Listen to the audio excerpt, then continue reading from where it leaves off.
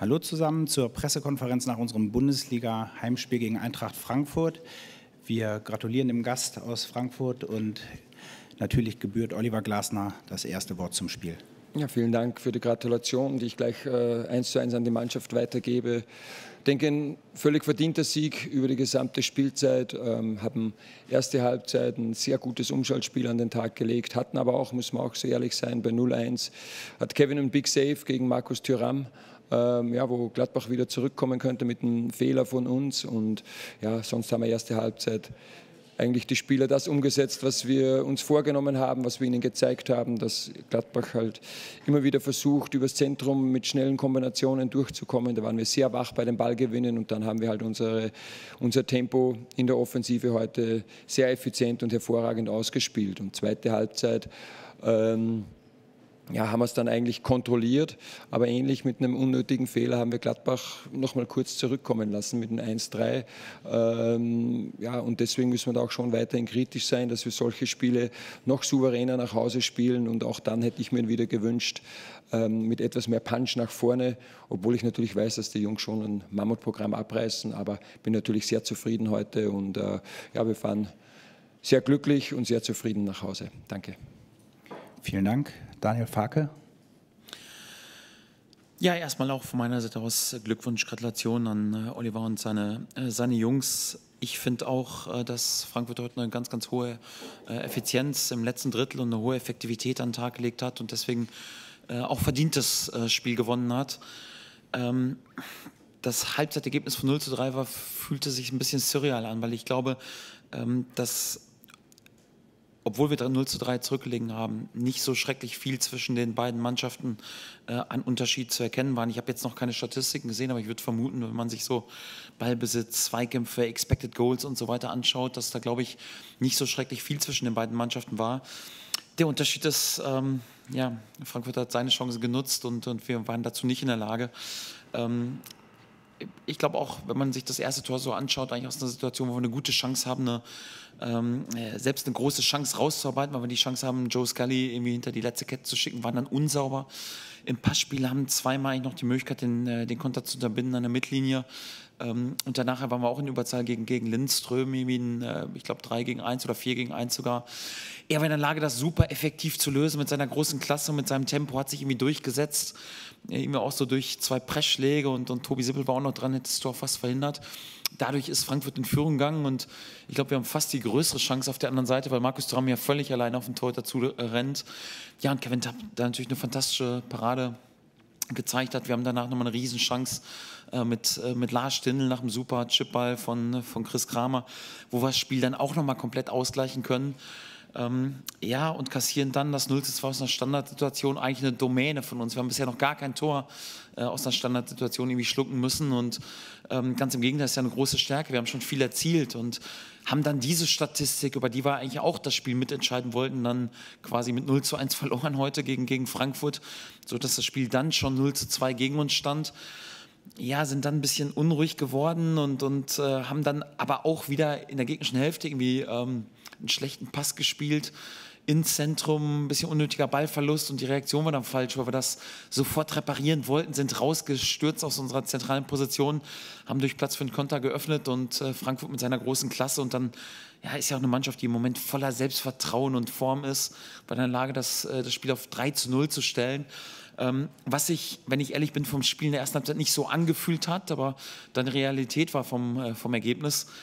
In der zweiten Halbzeit kannst du dann ja nicht durchdrehen und, und, und alles irgendwie äh, auf den Kopf stellen, weil sonst äh, wird dich so eine konterstarke Mannschaft mit so viel Tempo, so viel Klasse, die es gewohnt ist, in der Champions League zu spielen, dann natürlich komplett auseinandernehmen und äh, noch mehrere Tore einschenken. Ich finde, wir haben es gut gemacht, weil du musst dich Step by Step dann natürlich ins Spiel zurückkämpfen äh, und sehr diszipliniert sein. Wir haben dann eigentlich die Konter von Frankfurt gut kontrolliert, haben einen Anschlusstreffer erzielt zum 1 zu 3, hatten äh, das Momentum dann eigentlich auf, äh, auf unserer Seite und dann war es natürlich irgendwie auch so ein bisschen unglücklich, ähm, dass da nochmal eine zehnminütige Spielunterbrechung war, weil du hast ja das Gefühl gehabt, in diesem Moment, ja, Stadion ist wieder voll da, explodiert so ein bisschen Frankfurt ja, wird auch ein bisschen nervös. Die Spieler von uns haben das Momentum auf unserer Seite und pushen, um das Spiel zu drehen. Und klar, wenn du natürlich nochmal zehn Minuten Zeit hast, irgendwie ein bisschen Trinkpause, alles runterzukochen, Taktdinge runterzusprechen, ähm, Stadion beruhigt sich wieder, ja, das war dann natürlich nicht so förderlich für uns, aber das sind ja Dinge, die können wir nicht beeinflussen und müssen sie so akzeptieren, wie sie,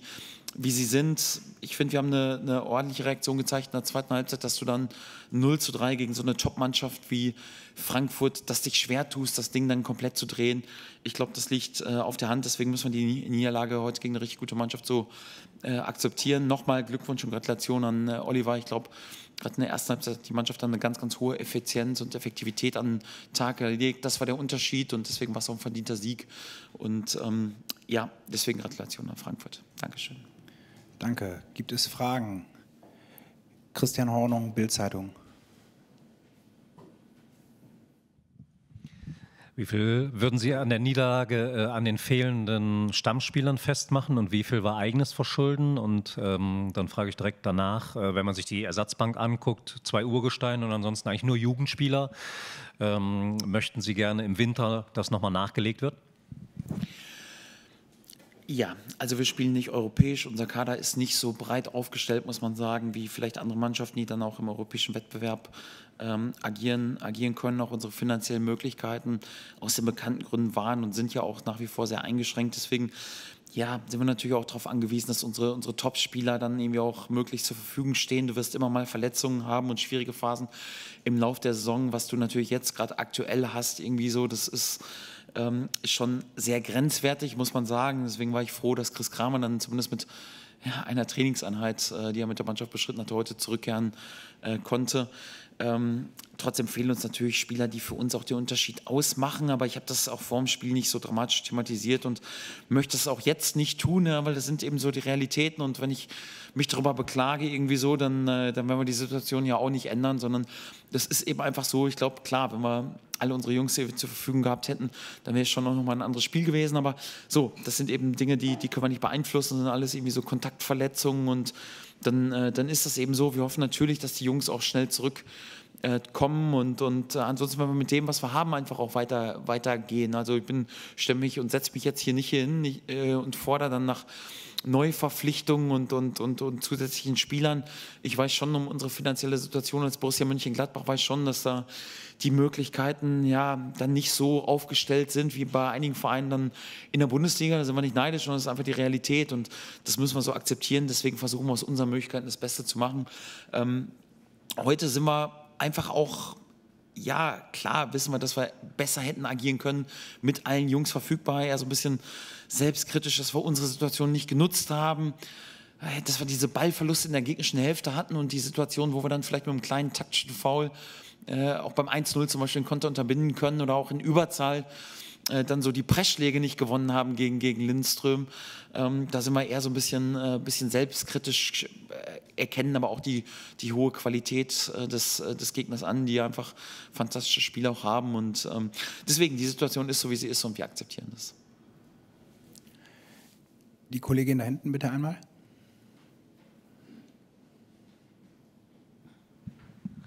Ähm, Herr Glasner, Lothar Matthäus schwärmte in den höchsten Tönen und zwar ähm, sowohl von Mario Götze, wo er wieder mal sagte, äh, der müsse mit zur WM und äh, natürlich auch von Jesper Lindström. Hat er recht? Lothar ist ja noch Rekordnationalspieler in Deutschland, dann hat er immer recht. Alle, alle ähm, zur WM von uns. Nein, nein, nein, nein. Ich, be, be, alle zur WM. Nein, ich bezog das jetzt die Frage konkret äh, zu Jesper Lindström, weil der scheint ja irgendwie zurzeit einen absoluten Flow zu sein.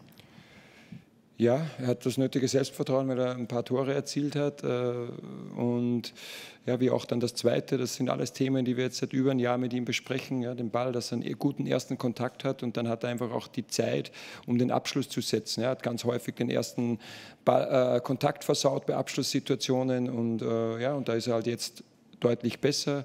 Er ist ruhiger. Er ist halt jetzt schon über ein Jahr in der Bundesliga und er hat das auch immer wieder äh, versucht im Training umzusetzen. Und dann kannst du halt äh, Selbstvertrauen in, für deinen Stürmer ist das Wichtigste und äh, deswegen trifft er auch ähm, derzeit. Aber für ihn ist genauso wichtig, dass er, ähm, ja, dass er da bescheiden bleibt, dass er, dass er am Boden bleibt und immer auch weiß und, und, und am Ende sind es immer die Offensivspieler, die dann gefeiert werden. Aber bei allen Toren war der Ballgewinn von irgendeinem anderen Spieler und der Assist war auch von einem anderen Spieler. Es ist immer äh, eine Mannschaftsleistung und deswegen will ich jetzt ihn auch nicht herausheben, obwohl er natürlich äh, heute sehr wichtige Tore erzielt hat. Thomas Gruhlke, Rheinische Post. Ja, Herr Farke, Sie sagten im Vorfeld, dass äh, im Grunde guter Ballbesitz schon das erste äh, Mittel äh, der, der Verteidigung ist. Jetzt hat es mit dem ersten Ballverlust das Gegentor gegeben. Ähm, ist es dann eine Kröte, die man schlucken muss, dass man ein gewisses Risiko mehr eingeht oder äh, war es etwas zu viel des Guten, weil gerade das 0-3 ähm, macht einem ja das Spiel dann wirklich im Grunde schon zunichte kurz vor der Pause? Ja, das stimmt. Und äh, wir haben ja auch auf einige Spieler verzichten müssen. Jetzt irgendwie so wie Jonas Hofmann, der zum Beispiel immer tolle, tiefe Läufe hat und wollten das heute gerade mit sehr viel Ballsicherheit, gerade im Zentrum, dann irgendwie äh, auch äh, auffangen. Und äh, nochmal, ich finde, dass wir es eigentlich insgesamt sehr ordentlich gemacht haben, weil wir, glaube ich, keinen Riesenunterschied zu einer Spitzenmannschaft äh, wie, äh, wie Frankfurt dann auch haben erkennen lassen in der, in der, ersten Halbzeit, was die Spielführung angeht. Aber in entscheidenden Situationen hatten wir dann äh, leider eben diese, diese Ballverluste auch drin. Nochmal, wenn wir einen sauberen Chipball über die, über die letzte Reihe legen, dann haben wir, glaube ich, die erste große Chance, weil Joe Scully äh, dann durch ist, dadurch, dass der Pass dann nicht sauber ist sind wir gezwungen zu reagieren, hatten zweimal die Chance, irgendwie zu reagieren mit dem taktischen Foul, was wir dann nicht gesetzt haben und vielleicht auch in der letzten Reihe uns dann nochmal durchzusetzen äh, in Überzahl am Strafraum. Deswegen haben wir das Tor kassiert. Danach, ähm, ja, hatten wir beim Stand von 0 zu 3 nochmal ein bisschen zu gierigen Pass nach vorne.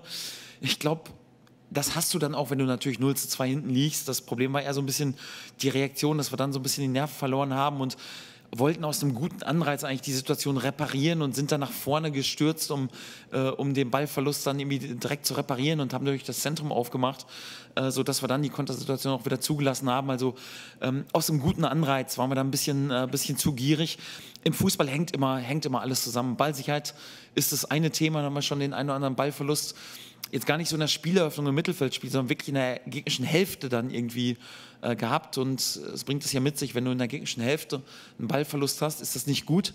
Ähm, aber du hast trotzdem noch die Chance, das auch zu reparieren. Und da war unsere Reaktion dann nicht immer äh, spot on. Und ja, deswegen im Fußball kommen, kommen viele Themen zusammen und da wie eine komplexe Leistung ähm, abzuliefern, das ist uns dann gerade auch hinsichtlich der Effektivität der Frankfurter äh, leider nicht so ganz gelungen.